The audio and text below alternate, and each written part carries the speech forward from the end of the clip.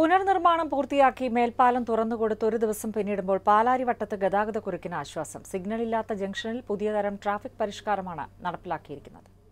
രാഷ്ട്രീയ കോലാഹലങ്ങൾക്കും വിവാദങ്ങൾക്കും വേദിയായ പാലാരിവട്ടം പാലം ഇന്നലെ വൈകുന്നേരമാണ് ഗതാഗതത്തിനായി തുറന്നു നൽകിയത്. സിഗ്നലുകളില്ലാത്ത പാലം എന്ന സവിശേഷത പാലാരിവട്ടം പാലത്തിന് ഇനി സ്വന്തം.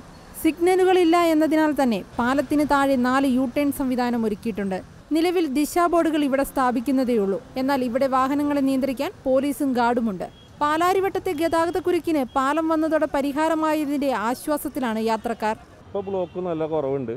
പക്ഷെ കുറച്ച് മുമ്പ് വരെയുള്ള സിസ്റ്റം വളരെ മോശമായിരുന്നു.